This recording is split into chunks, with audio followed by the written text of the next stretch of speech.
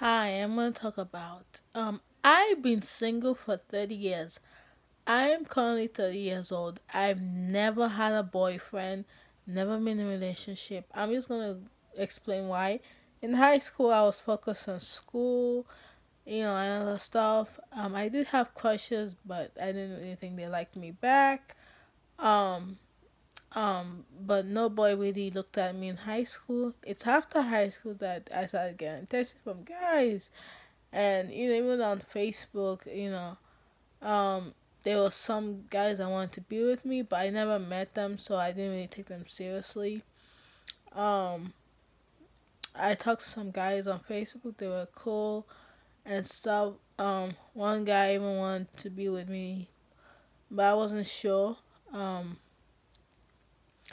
uh, my mom in my 20s set me up with uh was trying to set me up with a doctor and maybe be with him.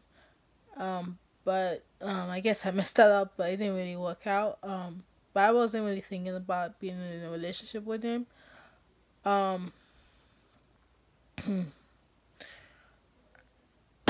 um another reason why I, I I've been single for this long is I guess I wasn't ready to be in a relationship uh to really settle down. Right now I feel like I'm getting ready, but I'm I'm still not ready to be in a relationship and haven't really been found by someone.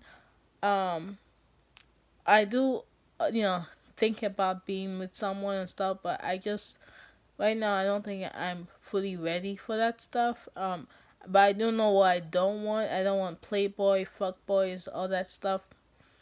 Um, yeah, and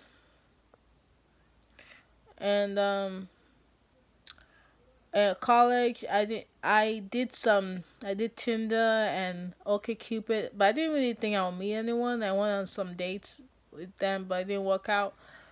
Um, and um, after that, my dating li- life was low. I didn't really date that much. I didn't really go out that much. So it was pretty yeah.